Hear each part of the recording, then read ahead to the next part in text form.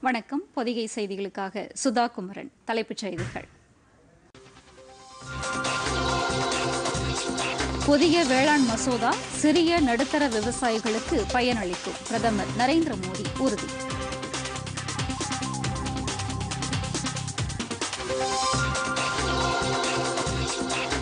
பீகார் சட்டப்பேரவை தேர்தலுக்கான வாக்குப்பதிவு அக்டோபர் இருபத்தி எட்டு நவம்பர் மூன்று மற்றும் ஏழு ஆகிய தினங்களில் நடைபெறுகிறது.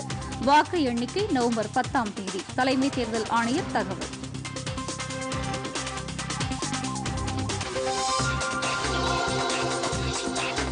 பிரபல பின்னணி பாடகர் எஸ் பி பாலசுப்ரமணியம் சென்னையில் இன்று காலமானார். குடியரசுத் தலைவர் குடியரசு துணைத் தலைவர் பிரதமர் உள்ளிட்டோர் இரங்கல்.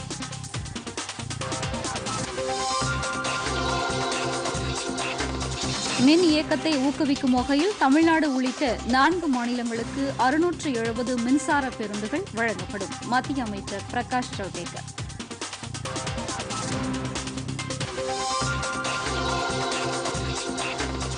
அமெரிக்க அதிபர் தேர்தல் நேர்மையாக நடைபெற்றால் தேர்தல் முடிவுகளை அதிபர் டிரம்ப் ஏற்றுக்கொள்வார். வெள்ளை மாளிகை அறிவிப்பு.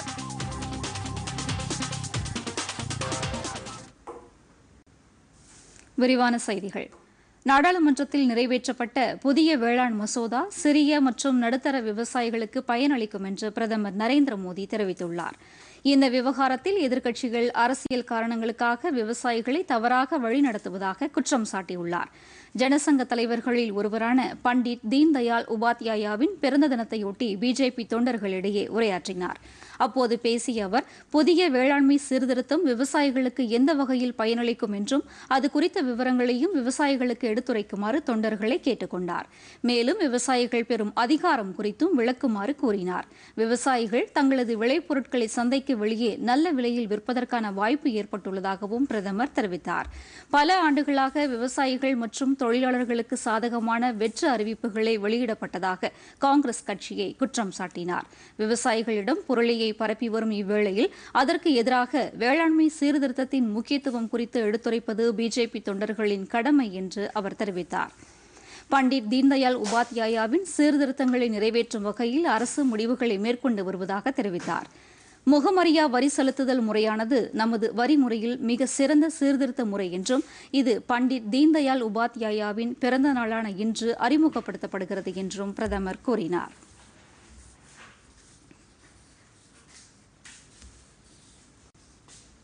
மறைந்த பிரபல விஞ்ஞானி விக்ரம் சாராபாயின் நூறாவது பிறந்த தினத்தையொட்டி காணொலி காட்சி வாயிலாக நடைபெற்ற நிகழ்ச்சியில் குடியரசுத் தலைவர் ராம்நாத் கோவிந்த் உரையாற்றினாா் அப்போது பேசிய அவர் இந்திய விண்வெளி ஆராய்ச்சி திட்டத்திற்கு விக்ரம் சாராபாய் ஆற்றிய பங்களிப்பு குறித்து நினைவு கூர்ந்தார்.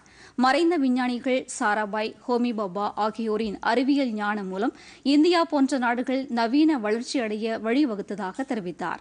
அவர்களது விஞ்ஞான பங்களிப்பினாலேயே தற்போதைய கொரோனா முடக்கத்தில் பள்ளிகள் செயல்படாத நிலையில் இணையம் வழியாக கற்பிக்கப்படுவதாக குறிப்பிட்டார். மேலும் அவர்களது தொடக்க கண்டுபிடிப்புகளினாலேயே விண்வெளிக்கு இந்தியாவின் சார்பில் மனிதனை அனுப்புவதற்கான நடவடிக்கைகளும் நடைபெற்று வருவதாக குடியரசுத் தலைவர் தெரிவித்தார். பிரதமர் நரேந்திர மோடி தொலைபேசி வாயிலாக ஜப்பான் பிரதமர் சுகா யோஷிஹிடேவுடன் உரையாடினார். ஜப்பானின் புதிய பிரதமராக அவர் நியமிக்கப்பட்டதற்கு வாழ்த்து தெரிவித்த பிரதமர் இலக்குகளை வெல்லவும் வாழ்த்து கூறினார். அண்மை காலமாக இந்தியா ஜப்பான் இடையேயான சர்வதேச நட்புறவு பெருமளவில் முன்னேற்றம் அடைந்துள்ளதாக இரு தலைவர்களும் தெரிவித்தனர். பரஸ்பரம் நம்பிக்கை மற்றும் அனுபவம் மூலம் இந்த உறவை மேலும் வலுப்படுத்துவது என தங்கள் விருப்பத்தை அவர்கள் குறிப்பிட்டனர்.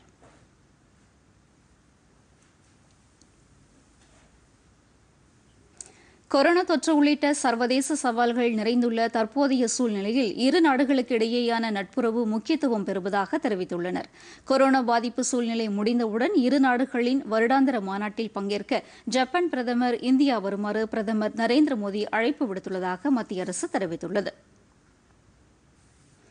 பீகார் சட்டப்பேரவை தேர்தலுக்கான வாக்குப்பதிவு மூன்று கட்டங்களாக நடைபெறும் என்று அறிவிக்கப்பட்டுள்ளது. இதுகுறித்து செய்தியாளர்களிடம் பேசிய தலைமை தேர்தல் ஆணையர் சுனில் அரோரா அக்டோபர் இருபத்தி எட்டு நவம்பர் மூன்று மற்றும் நவம்பர் ஏழு ஆகிய தினங்களில் வாக்குப்பதிவும் வாக்கு எண்ணிக்கை நவம்பர் மாதம் பத்தாம் தேதியும் நடைபெறும் என்றும் அறிவித்தார். இருநூற்று நாற்பத்தி மூன்று உறுப்பினர்களை கொண்ட பீகார் சட்டப்பேரவைக்கான தேர்தல் காலை ஏழு மணிக்கு தொடங்கி மாலை ஆறு மணி வரை நடைபெறும் என்று அறிவிக்கப்பட்டுள்ளது. கொரோனாவால் பாதிக்கப்பட்ட நோயாளிகள் வாக்குப்பதிவு நாளன்று கடைசி ஒரு மணி நேரத்தில் வாக்களிக்கலாம் என்று தெரிவிக்கப்பட்டுள்ளது. தேர்தலுக்காக ஏழு லட்சம் கிருமி நாசினிகள் நாற்பத்தி ஆறு லட்சம் முகக்கவசங்கள் ஆறு லட்சம் தனிநபர் பாதுகாப்பு உபகரணங்கள் மற்றும் இருபத்தி மூன்று லட்சம் கையுறைகள் ஆகியவை தயார் நிலையில் உள்ளதாக தலைமை தேர்தல் ஆணையர் கூறினார். முதல் கட்டமாக எழுபத்தி ஒரு தொகுதிகளிலும் இரண்டாம் கட்டமாக தொன்னூற்று நான்கு தொகுதிகளிலும் மூன்றாம் கட்டமாக எழுபத்தி எட்டு தொகுதிகளிலும் பீகார் சட்டப்பேரவை தேர்தல் நடைபெறும் என்றும் தலைமை தேர்தல் ஆணையர் சுனில் அரோரா தெரிவித்தார். காலியாக உள்ள மக்களவை மற்றும் சட்டப்பேரவைகளுக்கான இடைத்தேர்தல் எப்போது நடைபெறும் என்று செய்தியாளர்கள் கேள்விக்கு பதிலளித்த தலைமை தேர்தல் ஆணையர் ஒரு மக்களவை மற்றும் அறுபத்து நான்கு சட்டப்பேரவைகளுக்கான இடைத்தேர்தல் குறித்து இம்மாதம் இருபத்தி ஒன்பதாம் தேதி ஆய்வுக் கூட்டத்திற்கு பின்பு அறிவிக்கப்படும் என்றார்.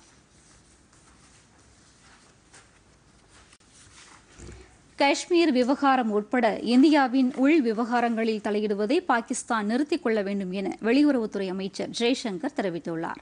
சிக்கா எனப்படும் ஆசியாவில் நம்பிக்கையூட்டும் நடவடிக்கைகள் மற்றும் கலந்துரையாடல் குறித்த மாநாடு நேற்று நடைபெற்றது. இருபத்தி ஏழு நாடுகளை உறுப்பினராக கொண்ட இந்த மாநாட்டில் இந்தியாவின் சார்பில் வெளியுறவுத்துறை அமைச்சர் ஜெய்சங்கர் காணொலி காட்சி வாயிலாக பங்கேற்றார். இந்த மாநாட்டில் பேசிய பாகிஸ்தான் வெளியுறவு அமைச்சர் ஷா மெஹமூத் குரேஷி காஷ்மீர் விவகாரத்தை எழுப்பினார். இதற்கு பதிலளித்த அமைச்சர் ஜெய்சங்கர் எல்லை தாண்டிய பயங்கரவாதத்தை ஊக்குவிப்பதை முதலில் நிறுத்திக் கொள்ள வேண்டும் என்றார். காஷ்மீர் குறித்த பாகிஸ்தானின் செயல்பாடுகள் இந்தியாவின் இறையாண்மை பிராந்திய ஒருமைப்பாடு மற்றும் உள்நாட்டு விவகாரங்களில் தலையிடுவதாக உள்ளது என்று குறிப்பிட்ட அவர் ஆயிரத்து தொள்ளாயிரத்து தொன்னூற்று ஒன்பதாம் ஆண்டில் வகுக்கப்பட்ட சிக்கா உறுப்பு நாடுகளுக்கு இடையேயான உறவு பற்றிய கொள்கைகளுக்கு முரணாக உள்ளது என்றும் அவர் குறிப்பிட்டார். பாகிஸ்தான் தான் பயங்கரவாதத்தின் உலகளாவிய ஊற்றுக்கண்ணாக திகழ்வதுடன் இந்தியாவிற்கு எதிரான பயங்கரவாத செயல்களையும் தொடர்ந்து தூண்டிவிட்டு வருவதாக குற்றம் சாட்டினார்.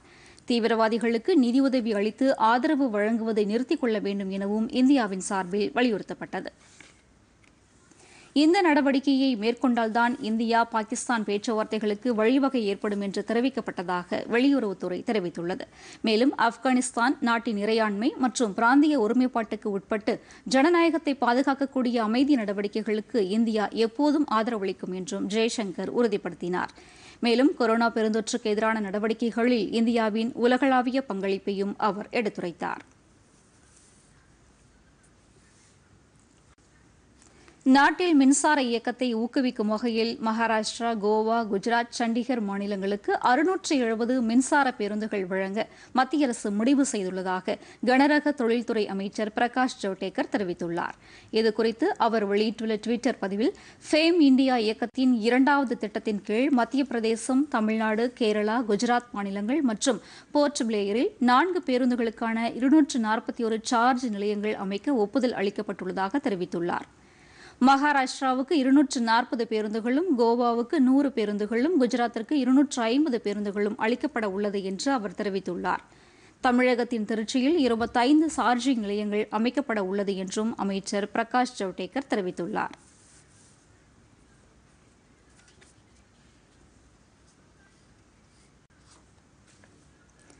பிரதமர் நரேந்திர மோடியின் சுயசார்பு இந்தியா திட்டம் நாட்டின் வளர்ச்சிக்கான மிக முக்கியமான முன்முயற்சி என்று சர்வதேச நிதியம் தெரிவித்துள்ளது. வாஷிங்டனில் செய்தியாளர்களிடம் பேசிய சர்வதேச நிதியத்தின் தகவல் தொடர்பு பிரிவு இயக்குநர் கெரி ரைஸ் கொரோனா பாதிப்பை தொடர்ந்து சுயசார்பு இந்தியா திட்டத்தின் கீழ் அறிவிக்கப்பட்ட பொருளாதார ஊக்குவிப்பு தொகுப்பு திட்டங்கள் இந்திய பொருளாதாரத்திற்கு பேருதவியாக அமைந்துள்ளது என்றார்.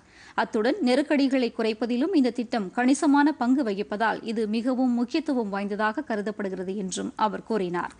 உலகிற்காக இந்தியாவில் உற்பத்தி செய்வோம் என்ற இலக்கை அடைவதற்கு முன்னுரிமை அளிக்கும் கொள்கைகள் சர்வதேச மதிப்பு சங்கிலியில் இந்தியாவை மேலும் ஒருங்கிணைக்க உதவும் என்று குறிப்பிட்ட சர்வதேச நிதியத்தின் இயக்குநர் வர்த்தகம் முதலீடு மற்றும் நவீன தொழில்நுட்பங்களை பின்பற்றுவதன் வாயிலாக இந்த இலக்கை அடைய முடியும் என்றும் அவர் தெரிவித்தார். மேலும் நித்தி ஆயோக் அமைப்பு மற்றும் நிதி அமைச்சகத்துடன் இணைந்து சர்வதேச நிதியம் கூட்டாக நடத்திய ஒரு ஆய்வில் சுகாதாரம் சார்ந்த நீடித்த வளர்ச்சிக்கான இலக்குகளை அடைவதில் இந்தியா அதிக சாதனை படைக்கும் என்று தெரிய வந்துள்ளதாகவும் அவர் கூறினார். நாட்டின் மொத்த உள்நாட்டு உற்பத்தி வீதத்தில் தற்போதைய மூன்று புள்ளி ஏழு சதவீதம் என்ற அளவிலிருந்து படிப்படியாக கூடுதலான நிதி ஒதுக்கீடு செய்வது அவசியம் என்றும் கெரி ரைஸ் தெரிவித்துள்ளார்.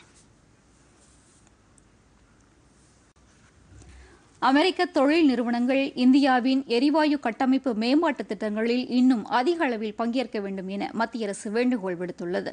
இந்தியாவிற்கான அமெரிக்க தூதர் கென்னத் ஜஸ்டருடன் இந்திய அமெரிக்க எரிசக்தி ஒத்துழைப்பு குறித்து காணொலி காட்சி வாயிலாக ஆலோசனை நடத்திய பெட்ரோலியத்துறை அமைச்சர் தர்மேந்திர பிரதான் இருநாட்டு நீடித்த நட்புறவில் எரிசக்தி முக்கிய அம்சமாக உருவெடுத்துள்ளது என்றார். இயற்கை எரிவாயு திட்டங்களில் இருதரப்பு ஒத்துழைப்பை அதிகரிப்பது குறித்து அமெரிக்க தூதருடன் ஆலோசனை நடத்தியதாகவும் தர்மேந்திர பிரதான் தமது டுவிட்டர் பதிவில் குறிப்பிட்டுள்ளார். கடந்த ஜூன் மாதம் தொடங்கப்பட்ட நீடித்த பெட்ரோலிய கையிருப்பு நிலவரம் குறித்தும் அமெரிக்க தூதருடன் ஆலோசனை நடத்தியதாக அமைச்சர் தர்மேந்திர பிரதான் கூறியுள்ளார்.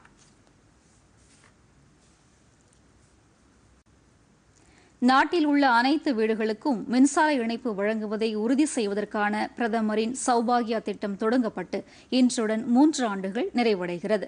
கடந்த இரண்டாயிரத்து பதினேழாம் ஆண்டு பதினாறாயிரத்து முன்னூற்று இருபது கோடி ரூபாய் மதிப்பீட்டில் தொடங்கப்பட்ட இந்த திட்டத்தின் கீழ் கிராமப்புற வீடுகளுக்கு மின் இணைப்பு வழங்க சுமார் பதினான்காயிரம் கோடி ரூபாயும் நகர்ப்புற வீடுகளுக்கு மின் இணைப்பு வழங்க இரண்டாயிரத்து இருநூற்று தொன்னூற்று ஐந்து கோடி ரூபாயும் ஒதுக்கப்பட்டுள்ளது.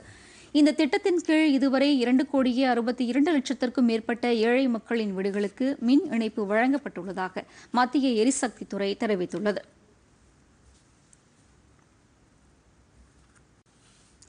ஜம்மு காஷ்மீர் யூனியன் பிரதேசத்தில் அனந்தநாக் மாவட்டத்தில் பாதுகாப்பு படையினர் நடத்திய தாக்குதலில் லஷ்கர் இ தொய்பா இயக்கத்தைச் சேர்ந்த இரண்டு தீவிரவாதிகள் கொல்லப்பட்டனர்.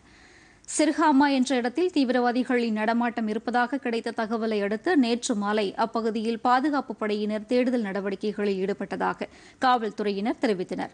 அப்போது தீவிரவாதிகள் எதிர் தாக்குதல் நடத்தியதை அடுத்து பாதுகாப்பு படையினர் பதில் தாக்குதலில் ஈடுபட்டனர். தொடர்ந்து அந்த பகுதியில் தேடுதல் வேட்டையில் ஈடுபட்ட நிலையில் இன்று காலை இரண்டு தீவிரவாதிகள் கொல்லப்பட்டதாக காவல்துறையினர் கூறியுள்ளனர்.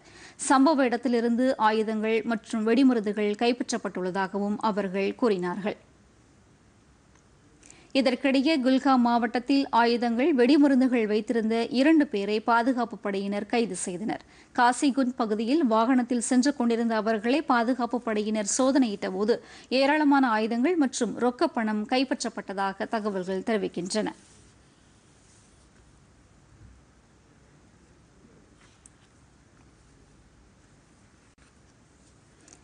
பிரபல பின்னணி பாடகர் எஸ் பி பாலசுப்ரமணியம் சென்னையில் இன்று காலமானார். அவருக்கு வயது எழுபத்து நான்கு. உடல்நலக்குறைவு காரணமாக கடந்த மாதம் ஐந்தாம் தேதி சிகிச்சைக்காக தனியார் மருத்துவமனையில் அனுமதிக்கப்பட்டிருந்த அவர் சிகிச்சை பலனின்றி இன்று பிற்பகல் காலமானார். ஆயிரத்து தொள்ளாயிரத்து நாற்பத்தி ஆறாம் ஆண்டு ஆந்திர பிரதேச மாநிலம் நெல்லூரில் பிறந்த அவர் இதுவரை பதினாறு மொழிகளில் நாற்பதாயிரத்திற்கும் மேற்பட்ட பாடல்களை பாடியிருக்கார். ஆறு முறை தேசிய விருதுகளை பெற்றுள்ள அவர் பத்மஸ்ரீ பத்மபூஷன் மற்றும் மாநில விருதுகளையும் பெற்றுள்ளார். பாடகர் எஸ் பி பாலசுப்ரமணியம் மறைவிற்கு குடியரசுத் தலைவர் ராம்நாத் கோவிந்த் இரங்கல் தெரிவித்துள்ளார். இதுகுறித்து அவர் வெளியிட்டுள்ள டுவிட்டர் பதிவில் இந்திய இசை மெல்லிசை குரல் ஒன்றை இழந்துவிட்டதாக குறிப்பிட்டுள்ளார். குடியரசு துணைத் தலைவர் வெங்கையா நாயுடு வெளியிட்டுள்ள இரங்கல் பதிவில் இசை உலகத்திற்கு ஈடு செய்ய முடியாத இழப்பு என்று கூறியுள்ளார். பிரதமர் நரேந்திர மோடி வெளியிட்டுள்ள இரங்கல் செய்தியில் பல ஆண்டுகளாக ரசிகர்களை தனது மென்மையான குரல் மூலம் பரவசப்படுத்தியதாக தெரிவித்துள்ளார். மெல்லிசை குரலால் எஸ் பி பாலசுப்ரமணியம் என்றும் நம் நினைவில் இருப்பார் என்று உள்துறை அமைச்சர் அமித்ஷா தமது டுவிட்டர் பதிவில் குறிப்பிட்டுள்ளார். தமிழக ஆளுநர் பன்வாரிலால் வெளியிட்டுள்ள இரங்கல் செய்தியில் சிறந்த பண்பாளராக திகழ்ந்த எஸ் பி பாலசுப்ரமணியம் தமது வாழ்க்கையை இசை மற்றும் பின்னணி பாடலுக்காகவே அர்ப்பணித்தவர் என்று தெரிவித்துள்ளார். தமிழக முதலமைச்சர் எடப்பாடி பழனிசாமி விடுத்துள்ள இரங்கல் செய்தியில் ஆயிரம் நிலவேவா என்ற புகழ்பெற்ற பாடலை எஸ் பி பாலசுப்ரமணியம் தான் பாட வேண்டும் என்று மறைந்த முதலமைச்சர் எம்ஜிஆர் விருப்பம் தெரிவித்த அளவிற்கு அவரது இதயத்தில் இடம்பெற்றவர் என்று புகழாரம் சூட்டியுள்ளார். திமுக தலைவர் மு க ஸ்டாலின் வெளியிட்டுள்ள இரங்கல் செய்தியில் பரபரப்பான உலகில் இயந்திரம் போல் மாறிவிட்ட மக்களின் மன அழுத்தத்திற்கு இயற்கை மாமருந்தாக வாய்த்தவர் எஸ் பி பாலசுப்ரமணியம் என்று குறிப்பிட்டுள்ளார். இந்திய கம்யூனிஸ்ட் கட்சியின் தமிழ் மாநில குழு தலைவர் இரா முத்தரசன் பாமக நிறுவனர் ராமதாஸ் உள்ளிட்டோரும் இரங்கல் தெரிவித்துள்ளனர். அத்துடன் இயக்குநர்கள் இசையமைப்பாளர்கள் நடிகர்கள் உள்ளிட்ட திரையுலகத்தினர் எஸ் பி பாலசுப்ரமணியம் மறைவிற்கு இரங்கல் தெரிவித்துள்ளனா்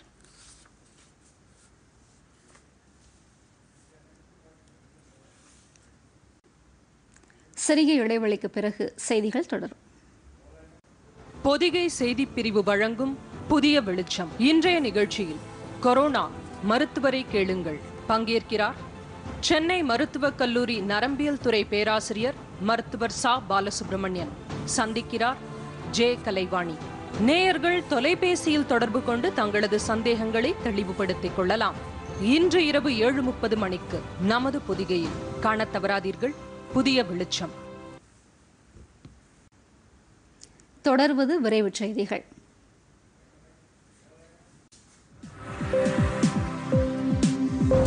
தமிழகம் முழுவதும் கூட்டுறவு நியாய விலைக் கடைகளில் பதினைந்து சதவிகித தள்ளுபடி விலையில் மருந்துகள் விற்பனை செய்யப்பட்டாலும் அதில் லாபம் கிடைத்து வருகிறது என்று மாநில வணிக வரி மற்றும் பத்திரப்பதிவுத்துறை அமைச்சர் கே சி வீரமணி கூறியுள்ளார். திருப்பத்தூரில் கூட்டுறவு சிறப்பங்காடி வளாகத்தில் புதிதாக உருவாக்கப்பட்டுள்ள கூட்டுறவு மருந்தகத்தை அமைச்சர் கே சி வீரமணி மற்றும் தொழிலாளர் நலத்துறை அமைச்சர் நிலோஃபர் கபில் இன்று திறந்து வைத்தனர். அப்போது பேசிய அமைச்சர் கே சி வீரமணி பொதுமக்கள் தங்களுக்கு தேவையான தரமான மருந்து பொருட்களை கூட்டுறவு மருந்தகங்களில் இருந்து குறைந்த விலையில் பெற்று பயனடையுமாறு கேட்டுக்கொண்டார். தமிழகத்தில் வடகிழக்கு பருவமழையால் பாதிப்பு ஏற்படாமல் இருக்க தீயணைப்புத்துறை காவல்துறை சுகாதாரத்துறை ஆகியவற்றின் மூலம் முன்னெச்சரிக்கை நடவடிக்கைகள் மேற்கொள்ளப்பட்டு வருகிறது என்றும் பேரிடர் ஏற்பட்டால் அதனை எதிர்கொள்ள தயார் நிலையில் இருக்கிறோம் என்றும் மாநில வருவாய் பேரிடர் மேலாண்மை மற்றும் தகவல் தொழில்நுட்பத்துறை அமைச்சர் ஆர் பி உதயகுமார் தெரிவித்துள்ளார். மதுரை மாவட்ட ஆட்சியர் அலுவலகத்தில் இன்று பயனாளர்களுக்கு நலத்திட்ட உதவிகள் வழங்கிய பின் செய்தியாளர்களை சந்தித்த அவர் விவசாயிகளின் நலனுக்காகவே மத்திய அரசு மூன்று வேளாண் திருத்த மசோதாக்களை கொண்டு வந்துள்ளது என்றார். இதன் மூலம் விவசாயிகள் தங்கள் விளைபொருட்களை இடைத்தரகர்களின் தலையீடு இல்லாமல் சந்தைப்படுத்த முடியும் என்றும் அமைச்சர் தெரிவித்தார். கடைக்கோடி மக்களின் தேவைகளை கண்டறிந்து நிறைவேற்றும் அரசாக தமிழக அரசு செயல்பட்டு வருகிறது என்று மாநில உயர்கல்வித்துறை அமைச்சர் கே பி அன்பழகன் தெரிவித்துள்ளார். தருமபுரி மாவட்டம் காரிமங்கலம் பாலக்கோடு பகுதிகளில் அரசின் பல்வேறு வளர்ச்சித் திட்ட பணிகளை இன்று தொடங்கி வைத்த அமைச்சர் நிறைவு செய்யப்பட்டுள்ள பணிகளை மக்கள் பயன்பாட்டிற்கு திறந்து வைத்தார். அப்போது பேசிய அவர் பொதுமக்கள் அனைவரும் அரசின் வழிகாட்டு நெறிமுறைகளை பின்பற்றி கொரோனா தொற்று பரவலை தடுக்க வேண்டும் என்று அவர் கேட்டுக் கொண்டார் தமிழகத்தில் இதுவரை இல்லாத சாதனையாக தற்போது வரை முப்பத்தி ஒரு லட்சத்து அறுபதாயிரம் மெட்ரிக் டன் அளவிற்கு நெல் கொள்முதல் செய்யப்பட்டுள்ளதாக மாநில உணவுத்துறை அமைச்சர் காமராஜ் கூறியுள்ளார். திருவாரூர் மாவட்டத்தில் நன்னிலம் பேருந்து நிலைய கட்டுமான பணிகளையும் மாப்பிள்ளைக்குப்பம் மேல்நிலை நீர்த்தேக்க தொட்டி கட்டுமான பணிகளையும் இன்று அமைச்சர் ஆய்வு செய்தார். பின்னர் கீழக்காது வாக்குடி நடமாடும் நியாய விலை கடைகளை அவர் தொடங்கி வைத்தார். அப்போது செய்தியாளர்களை சந்தித்த அவர் திருவாரூர் மாவட்டத்திற்கு நூற்று இருபத்தைந்து நடமாடும் நியாய விலைக் கடைகள் ஒதுக்கீடு செய்யப்பட்டுள்ளதாக கூறினார். கள்ளக்குறிச்சி மாவட்டம் திருநாவலூரில் நடமாடும் நியாய விலைக் கடைகளை மாநில சட்டத்துறை அமைச்சர் சி வி சண்முகம் இன்று கொடியசைத்து தொடங்கி வைத்தார். சட்டப்பேரவையில் தமிழக முதலமைச்சர் எடப்பாடி பழனிசாமி நூற்று பத்து விதியின் கீழ் தமிழகத்தில் நடமாடும் நியாய விலைக் கடைகள் கொண்டுவரப்படும் என்று அறிவித்திருந்தார். அதன் முதல் கட்டமாக திருநாவலூரில் பத்து நடமாடும் நியாய விலைக் கடைகள் சட்டத்துறை அமைச்சரால் தொடங்கி வைக்கப்பட்டது. இந்நிகழ்ச்சியில் மாவட்ட ஆட்சியர் கிரண் குராலா உளுந்தூர்பேட்டை சட்டமன்ற உறுப்பினர் குமரகுரு கள்ளக்குறிச்சி சட்டமன்ற உறுப்பினர் பிரபு உள்ளிட்ட அரசு அதிகாரிகள் பலர் கலந்து கொண்டனர். மேகாலயா மாநிலத்தில் ஏற்பட்ட நிலச்சரிவில் சிக்கி மகளிர் கிரிக்கெட் அணி வீராங்கனை ரசியா அகமத் உயிரிழந்தார். மேகாலயாவின் கிழக்கு ஹாசிமலை மாவட்டத்தில் மௌனி என்ற இடத்தில் இன்று காலை ஆறு மணிக்கு ஏற்பட்ட நிலச்சரிவில் வீடுகள் மண்ணில் புதைந்தன. இதில் ரசியா அகமத் உயிரிழந்த நிலையில் முப்பதுக்கும் மேற்பட்டவர்கள் மீட்கப்பட்டுள்ளனர் என்றும் ஐந்து பேர் காணாமல் போயுள்ளனர் என்றும் அம்மாவட்ட காவல்துறை கண்காணிப்பாளர் தெரிவித்துள்ளார். அங்கு தொடர்ந்து மீட்பு பணிகள் நடந்து வரும் நிலையில் மேகாலய கிரிக்கெட் வாரிய அதிகாரிகள் உள்ளிட்ட பலரும் ரசியா அகமத்தின் உயிரிழப்புக்கு இரங்கல் தெரிவித்துள்ளனர். மத்திய அரசு கொண்டு வந்துள்ள தூய்மை இந்தியா திட்டம் நாடு முழுவதும் சிறப்பாக செயல்பட்டு வருகிறது. அதன் ஒரு பகுதியாக விழுப்புரம் மற்றும் கள்ளக்குறிச்சி மாவட்டங்களில் அறுபதாயிரத்திற்கும் மேற்பட்ட வீடுகளில் கழிவறைகள் கட்டித்தரப்பட்டுள்ளது. இதன் காரணமாக தாங்கள் பாதுகாப்பாகவும் சுகாதாரமாகவும் இருப்பதாக கூறும் பெண்கள் இந்த திட்டத்தை கொண்டு வந்த மத்திய அரசுக்கும் பிரதமர் நரேந்திர மோடிக்கும் நன்றி தெரிவித்துள்ளனர். தூய்மை பாரத இயக்கத்தின் திட்டத்தின் கீழ் எங்களுக்கு மோடி தலைமையில் நிறைய டாய்லெட்லாம் கட்டியிருக்காங்க. இது வந்து ரொம்ப பயனுள்ளதாக இருக்குது. எங்களுக்கு பெண்களுக்கு மொத பயனுள்ளதாக இருக்குது. இதுக்கு முன்னாடி திருடன் பிரச்சனை நோய் பறைய பல சந்திப்புகள் வந்து எங்களுக்கு நிகழ்ந்துருக்குது இப்போ எந்த ஒரு பிரச்சனையும் இல்லாதால நாங்கள் ஒருத்தூர் கிராமத்தில் ரொம்ப மகிழ்ச்சியாக இருக்குது. எங்களுக்கு டாய்லெட் இருக்கிறது ரொம்ப மகிழ்ச்சி. இந்த ஊரில் அதுக்கு முன்னே வந்து பாத்ரூம் எல்லாம் போகிறதுனா வெளியில் தான் போயிட்டு கஷ்டப்பட்டுக்கின்னு எல்லாம் இந்த பாம்பு கடி பூச்சிக்கடி ரொம்ப அவதிப்பட்டுக்கின்னு ஜனம் ஃபுல்லாகவே எல்லாமே கஷ்டப்பட்டுன்னு வந்தோம். இப்போ இந்த மோடி திட்டத்தினால வந்து எங்களுக்கு ஒரு பாத்ரூம் கட்டி கொடுத்து எந்த நேரம் இருந்தாலும் ஒரு ரொம்ப ஒரு ஒரு வயிற்றுப்போக்காக இருந்தாலும் எதாக இருந்தாலும் வந்து இப்போ எந்த நேரத்தில் வந்தாலும் நாங்கள் இப்போ இது யூஸ் பண்ணிக்கிறோம். எங்களுக்கு இது மோடி திட்டத்தில் இதை கொடுத்ததுனால நாங்கள் ரொம்ப பயனடைகிறோம். எங்களுக்கு ரொம்ப மகிழ்ச்சியாக இருக்குது. நாங்கள் இதுமாரிலாம் வெளியில் போயின்னு வந்தோம் ரொம்ப கஷ்டமாச்சு பாத்ரூமுக்கு இப்போ மோடி ஐயா பாத்ரூம் கொடுத்துக்கிறாரு. அவருக்கு நன்றி. நாங்கள் எல்லாமே இதில் தான் டாய்லெட் பண்ணுறோம் எல்லா வசதியும் இருக்குது. எங்கள் எந்த பிரச்சனையும் இல்லை. நான் கவர்மெண்ட்டில் கொடுத்ததுக்கு நன்றி. மோடி ஐயாவுக்கும் நன்றி. நாட்டில் இதுவரை இல்லாத அளவிற்கு நேற்று ஒரே நாளில் பதினைந்து லட்சம் பேருக்கு கொரோனா பரிசோதனை மேற்கொள்ளப்பட்டதாக மத்திய சுகாதாரத்துறை தெரிவித்துள்ளது. கொரோனா தொற்றிலிருந்து குணமடைந்து வருவோரின் எண்ணிக்கை தொடர்ந்து அதிகரித்து வருவதால் அதன் மொத்த எண்ணிக்கை விகிதம் எண்பத்தி ஒரு புள்ளி ஏழு நான்கு சதவீதமாக அதிகரித்துள்ளது. நாட்டில் நேற்று ஒரே நாளில் எண்பத்தி ஆறாயிரத்து ஐம்பத்தி இரண்டு பேருக்கு கொரோனா தொற்று உறுதி செய்யப்பட்டதை தொடர்ந்து கொரோனா தொற்றால் பாதிக்கப்பட்டோரின் மொத்த எண்ணிக்கை ஐம்பத்தி எட்டு லட்சத்து பதினெட்டாயிரத்து ஐநூற்று எழுபதாக அதிகரித்துள்ளது. கடந்த இருபத்தி நான்கு மணி நேரத்தில் எண்பத்தி ஓராயிரத்து நூற்று எழுபத்தி ஏழு பேர் குணமடைந்ததை அடுத்து நாடு முழுவதும் இந்த நோய் தொற்றிலிருந்து இதுவரை குணமடைந்தோர் எண்ணிக்கை நாற்பத்தி ஏழு லட்சத்து ஐம்பத்தி ஆறாயிரத்து நூற்று அறுபத்து நான்காக அதிகரித்துள்ளது. ஒன்பது லட்சத்து எழுபதாயிரத்து நூற்று பதினாறு பேர் சிகிச்சை பெற்று வருகின்றனர். சிகிச்சை பலனின்றி உயிரிழந்தோர் எண்ணிக்கை தொன்னூற்றி இரண்டாயிரத்து இருநூற்று தொன்னூறாக அதிகரித்துள்ளது என்று மத்திய சுகாதாரத்துறை அமைச்சகம் தெரிவித்துள்ளது. சர்வதேச அளவில் மூன்று கோடியே இருபத்தி நான்கு லட்சத்து இருபத்தி ஓராயிரத்து எழுபத்து நான்கு பேர் கொரோனாவால் பாதிக்கப்பட்டுள்ளனர். ஒன்பது லட்சத்து எண்பத்தி ஏழாயிரத்து எண்ணூற்று இருபத்தி நான்கு பேர் உயிரிழந்துள்ள நிலையில் இரண்டு கோடியே முப்பத்தி ஒன்பது லட்சத்து முப்பத்து நான்காயிரத்து இருநூற்று இருபத்தைந்து பேர் நோய் தொற்றிலிருந்து குணமடைந்துள்ளனர். America Brazil Russia Colombia Peru ஆகிய நாடுகளில் கொரோனா தொற்று பாதிப்பு எண்ணிக்கை அதிக அளவில் உள்ளது. அமெரிக்க அதிபர் தேர்தல் நியாயமாகவும் நேர்மையாகவும் நடைபெற்று முடிந்தால் அந்த தேர்தலின் முடிவுகளை அதிபர் டொனால்டு ட்ரம்ப் ஏற்றுக்கொள்வார் என்று அவரது ஊடக தொடர்பு செயலாளர் கேலே மெக்னேனி தெரிவித்துள்ளார். அமெரிக்காவில் அதிகார மாற்றம் அமைதியான முறையில் என்பது குறித்த தற்போதைய அதிபர் எந்த உத்தரவாதமும் தெரிவிக்காத நிலையில் இது தொடர்பாக செய்தியாளர்கள் எழுப்பிய கேள்விகளுக்கு இவ்வாறு அவர் கூறினார். அதிபர் தேர்தலில் ட்ரம்ப் வெற்றி பெறுவது நிச்சயம் என்ற நிலையில் அதிகார மாற்றம் என்ற கேள்விக்கே இடமில்லை என்றும் அவர் கூறினார். அதே நேரத்தில் அதிபர் தேர்தல் தொடர்பாக ஜனநாயக கட்சியினர் கடந்த காலத்திலும் தற்காலத்திலும் பல கேள்விகளை எழுப்பியதையும் அவர் சுட்டிக்காட்டினார். இம்முறை நடைபெறும் அதிபர் தேர்தலில் ட்ரம்ப் நியாயமான முறையில் வெற்றி பெற விரும்பவில்லை என்றும் மோசடி மூலம் வெற்றி பெற திட்டமிட்டுள்ளதாகவும் ஜனநாயக கட்சியைச் சேர்ந்த நாடாளுமன்ற உறுப்பினர்கள் குற்றம் சாட்டியுள்ளனர்.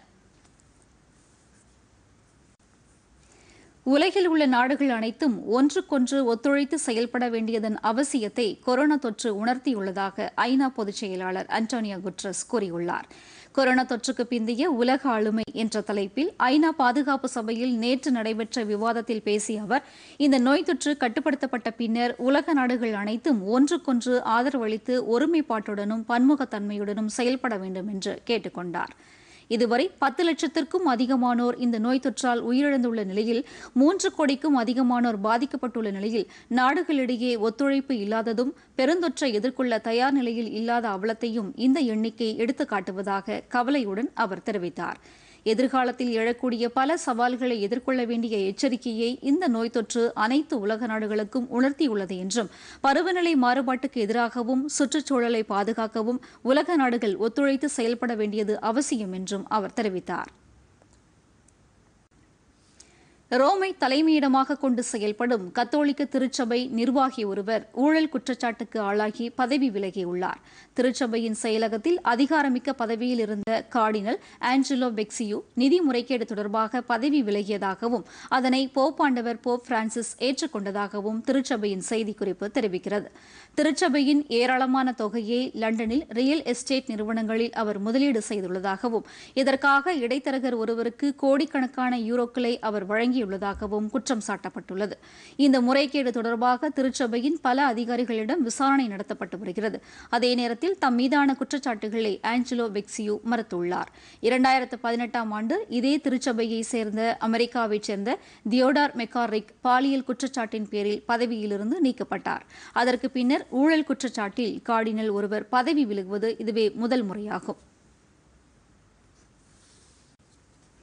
வெப்பச்சலனம் காரணமாக அடுத்த இருபத்தி நான்கு மணி நேரத்தில் தமிழகத்தின் கடலோர மாவட்டங்கள் மற்றும் அதனை ஒட்டிய உள் மாவட்டங்களிலும் சென்னை திருவள்ளூர் காஞ்சிபுரம் செங்கல்பட்டு விழுப்புரம் தருமபுரி கடலூர் சேலம் மாவட்டங்களின் சில பகுதிகளில் இடியுடன் கூடிய லேசானது முதல் மிதமான மழை பெய்யக்கூடும் என்று சென்னை வானிலை ஆய்வு மையம் தெரிவித்துள்ளது.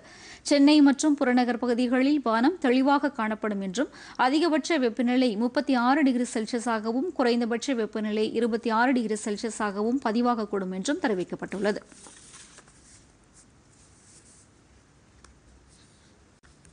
மீண்டும் தலைப்புச் செய்திகள்.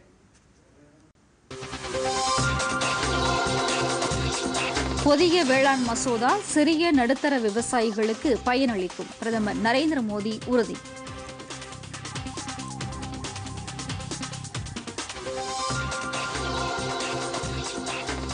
பீகார் சட்டப்பேரவை தேர்தலுக்கான வாக்குப்பதிவு அக்டோபர் இருபத்தி எட்டு நவம்பர் மூன்று மற்றும் ஏழு ஆகிய தினங்களில் நடைபெறுகிறது. வாக்கு எண்ணிக்கை நவம்பர் பத்தாம் தேதி. தலைமை தேர்தல் ஆணையர் தகவல்.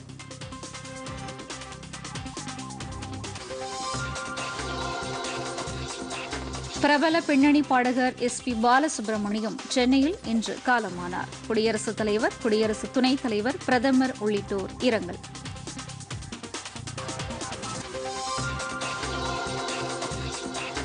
மின் இயக்கத்தை ஊக்குவிக்கும் வகையில் நான்கு மாநிலங்களுக்கு அறுநூற்று எழுபது மின்சார பேருந்துகள் வழங்கப்படும். மத்திய அமைச்சர் பிரகாஷ் ஜவடேகர்.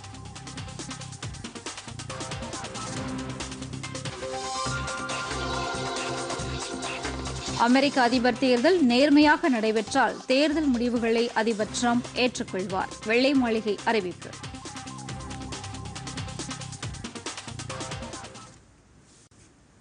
பொதிகை செய்திகளை யூடியூபில் தமிழ் நியூஸ் தூர்தர்ஷன் என்ற சேனலிலும் முகநூலில் டிடி பொதிகை நியூஸ் என்ற பக்கத்திலும் ட்விட்டரில் டிடி நியூஸ் சென்னை என்ற பக்கத்திலும் இன்ஸ்டாகிராமில் டிடி பொதிகை நியூஸ் என்ற பக்கத்திலும் காணலாம்.